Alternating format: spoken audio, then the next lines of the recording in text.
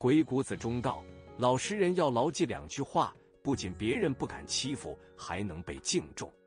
建议收藏，让你越混越好。人生如逆旅，我亦是行人。点个订阅，带你来一场走心的国学之旅，每天为你带来一些不一样的国学文化。老实人在很多人眼里，就是那种不喜欢说话、只喜欢闷头做事的人。对好的人来说，这叫脚踏实地；对坏的人来说，这就是懦弱无能。大家可以回忆一下，“老实”这个词一般用在哪些人身上？不就是那些混得不好的人，连吃穿都成问题？不要说那些有一定成就的人，就是一个普通的正常人，也很少会说他是老实人。所以啊，人家说你老实，还真不是在夸你，潜台词是说你没用。只能被人欺负的份儿，正所谓人总是拿软柿子捏。老实人如果不知道反抗，那就只能任人宰割。作者试问：有几个人甘愿自己被别人欺负呢？没有。既然没有人希望被小人欺负，但是身为老实人却又斗不过小人，又该怎么办呢？所以老实人要牢记两句话：不要总是被小人欺负。一，老实人往往没有好结局。生活当中总会有一些老实人，他们老实巴交，不善言辞，不抽烟，不喝酒，不参加任何聚会，不会阿谀奉承，不会溜须拍马，不懂人情世故，只顾闷头沉浸在自己的世界，每天两点一线，公司加他们对工作认真，对家庭负责。按道理来说，这样的人是好人，但实际情况并不如此。在公司，这种人不受领导喜欢，被同事欺负排挤，没什么上升空间，做着最底层的工作。在家庭上，妻子又嫌弃这样的丈夫窝囊没本事，挣不了大钱，一辈子平庸，生活平静如水，没有任何波澜起伏。或许吧，有人喜欢这样的状态，奈何环境不允许，又不会去改变，只能走向不好的结局。你是这样的人吗？你身边有这样的人吗？老实人不喜欢，也不善于和别人争抢，即使吃了亏，也会选择忍下来，觉得忍一忍就过去了，没什么大不了的，不就是吃点亏吗？就当吃亏是福吧。甚至偶尔占了别人的便宜，老实人还会觉得很过意不去，心里面很不踏实，会陷入情绪内耗。这样的老实人，看在别人眼里，自然是容易被当做欺负对象的。老实人的人生和生活也会因此变得艰难，而且做人太老实的人，胆子往往是很小的，性格往往是很懦弱的，稍微有点风险的事情，他们都不敢去做；别人稍微强势一点，他们就畏首畏尾，想要缩到套子里去，做一个套中人。这样的老实人，在做事上缺乏突破和创新，只是像头老黄牛一样的干活。反而很难做出太大成绩，人生也难有太好的机会。在做人上，则不懂也不敢强势反击，常常会沦为吃亏受欺负的对象，在这个竞争残酷的社会中，成为弱势群体。老实人尽管生活很苦，人生很难，但爱面子之心却不比任何人少，甚至比别人要更爱面子，更要面子，把面子看得比什么都重要。做什么都怕丢面子，甚至经常为了面子而打肿脸充胖子，死要面子活受罪。而正是因为太在乎面子，他们失去了更多有价值的东西，也经常因为要面子而吃大亏。这里并不是说面子不重要，毕竟树活一张皮，人活一张脸。只是在你没有足够的实力时，你的面子就是一文不值的。二，及时止损才是王道。为什么老实人容易受欺负？因为老实人总会给人们一种错觉，说话做事畏畏缩缩，性格内向、胆小懦弱。即便是被人欺负了，大多选择忍气吞声，自己受了还能怎么样？于是乎，就有了点人善被人欺，马善被人骑的悲壮色彩。朋友老李见人不是点头哈腰，就是远远让路，一张笑脸永不落幕。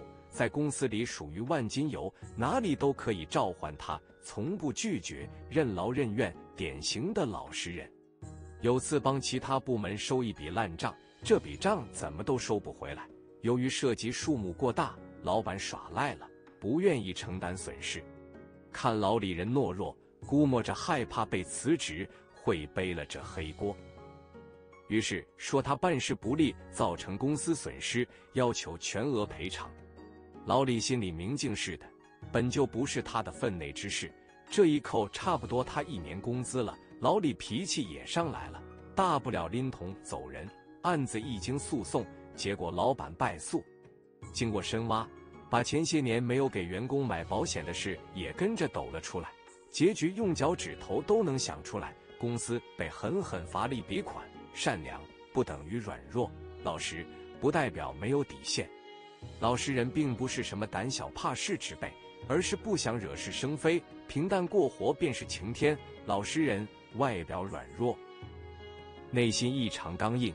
如果把他逼急了，不出手则已；一出手即是必杀技，一击即中，不在沉默中毁灭，就在沉默中爆发。人敬我一尺，我敬人一丈。但人在触碰到底线时，我们也要学会适时亮出獠牙，吓退对方。这总比付诸暴力好啊！纵容和默许只会让人得寸进尺，觉得你软弱可欺。老实人有个最大的缺点。就是很容易把掏心窝子的话说给别人听，结果被别人算计。俗话说得好，害人之心不可有，防人之心不可无。江湖险，人心更险。你并非对谁都可以推心置腹。真正聪明的人，往往不轻易显山露水，既不会夸夸其谈，更不会逢人变素。他们总是慎言慎行，沉稳低调。因为他们懂得做人不要做绝，说话不要说尽。祸从口出，病从口入，覆水难收，恶言难消。人无千日好，花无百日红。做人要懂得给自己留后路，宁愿保持着沉默，也不能信口开河。说出去的话如同泼出去的水，难以收回。所以，请谨慎地使用你的舌头。君子之交淡如水，与人相交，适可而止。生活中有很多人是不懂拒绝别人的老好人，这样的人最容易被人欺负。因为不懂拒绝，所以别人变本加厉；因为处处忍让，所以别人肆意拿捏。希望大家都不要成为这种人，要有自己的原则和底线。对于一些不讲理的人、不合理的事，一定要大胆拒绝，坚决说不。只有这样，别人才能顾及你的感受，对你和颜悦色。毕恭毕敬，人容易受欺负，主要还是因为看起来就软弱可欺。心软之人的善良本无错，但善良需要带有锋芒。帮忙是情分，不帮是本分。可怜之人必有可恨之处。当你软下心来帮助对方时，就要衡量伸出援手的后果。世人都有一个通病，那就是欺软怕硬。你若比对方强大，他们就巴结讨好；你若比他们弱小，他们就嘲讽挤兑，越是自身优秀、实力雄厚的人，越是没人敢欺；受人善待追捧，越是一事无成；能力不足的人，越是被人冷落，常常被人刁难。所以，要想在复杂的社会中拥有一席之地，就要自身强大优异。当你的能力和实力达到别人触及不到的境界时，那些欺软怕硬的人在你面前才会低头哈腰。赔尽笑脸，默默提升自己，凭实力取胜，才是保护自己的盾牌，才是反击别人的利剑。做人，害人之心不可有，防人之心不可无。任何时候都别忘了，你可以不伤人，但身上必须有刺；你可以不欺人，但必须学会防备。希望你能有帮人的善心，也能有防人的戒心，在这个复杂的社会中，远离伤害，护己周全。真正聪明的人，吃小亏可以，吃大亏不行。在小事上可以大事化小，小事化了；但遇到大事的时候，一定会据理力争，寸步不让。不是都爱欺负老实人而是老实人太好欺负生而为人你要软弱给谁看凡事退让得毫无底线别人就敢逾越得肆无忌惮所以再老实也要带点刺让人知难而退从而和谐共生。请善待身边每一个老实人这世间才少一份恩怨多一份祥和。以上就是今天的全部分享。如果你也喜欢本期内容欢迎持续关注点赞订阅。